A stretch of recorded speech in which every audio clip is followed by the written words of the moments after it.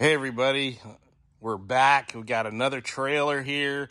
Um, my guy Moses at Atlantic Marine Trailers just hooked us up with another badass double wrap trailer build. This one's going for a customer. And if you remember, um, we started out with Atlantic Marine when I picked this trailer up. And I know it was a couple weeks ago, but we've been really, really busy. Had to get, wait for all these Grand General lighting parts to come in. We're going to go with an amber red combo for the tail lights. They're going to go in these tail light boxes right here. We're going to have backup lights. These are their full LED. These are a 10 LED beehive. These light up the frame rails like crazy. I've got all sealed packaging, so this keeps a lot of the water out of the backside of the light and we've got the special push plugs that go in there that seals it off. We'll have uh, special grease in there as well to keep it from corroding. Got some Stoltz rollers. That's going to be for the custom V-stop.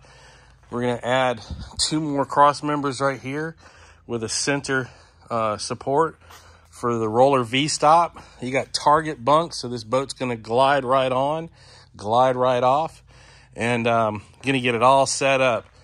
We went with this spread axle design here. It gives you two individual fenders. We've got Kodiak brakes going on with the stainless pistons, all stainless hardware going on. We've got the custom wheels right over there. Um, there's three of them. The other one's on the back of the truck. Um, they're going to go on here with some sealed lug nuts. All the end pieces are capped off.